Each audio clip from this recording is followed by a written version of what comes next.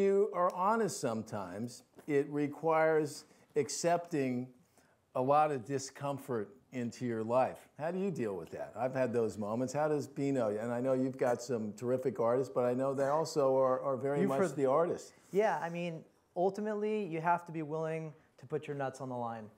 I, I live that way with my artist. I'm not a, uh, I'm not a guy who, who wants to tell my artists something to, to pacify them, but rather earn their respect and their trust through time and have the tough conversations. And they are with me. I think we've built relationships built on trust, but uh, I'm willing to take it on the chin as long as they hear me. And at the end of the day, if they're hearing me and I'm hearing them, then they can make the right decision based on the knowledge that they have that I presented them. Yeah. Do you feel like so now you've been with System of a Down now for what, 15, 16 years? Yeah, yeah, Do you ever feel like you got married to five people? Absolutely. and you know what? Listen, that, I think that systems music and what they do and what you hear on stage and what you hear on record is, is, a, is an indication of their personality, which is they come together in this wild, crazy, amazing, you know, ethnic, ethereal, powerful, frantic, everything comes out. That's their personalities. There's four really different guys. And I have a relationship with each one of them. Um, and it is time consuming and it is managing different entities.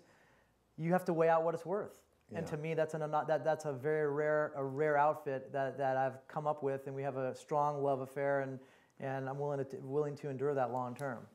Do you find that most of the, the, the, the difficult moments you have with a band um, happen right at that intersection of you wanting to do the right thing as a business person, which typically is a very kind of rational type of mentality that managers have. They have to be accepting, versus the artists that are coming much from a more from a feel. Right. Sensitivity point of view. For It me, that's where we battle. It depends on the band. I mean, you know, I have, you know, again, I think that when, when I talk to B-Real and Sen from Cypress Hill versus Jerry and Sean and, and Mike and William from Alice or the guys in System or AFI who I'm just learning now, I think different artists have different propensities and different aspects of what they do well and what they need help on. I mean, um, you know, that does come up, no doubt about it. You know, I mean, let's face it, when you're on tour, the, usually the tour tee with the photo tee with the dates on back is the biggest seller. The bands don't like that as much, but that at the end of the day. So have that be one of the eight eight shirts. You Yeah. Know? So I mean, it comes up, but um, my challenges have been equally as as as trying to internally keep everyone on the same page.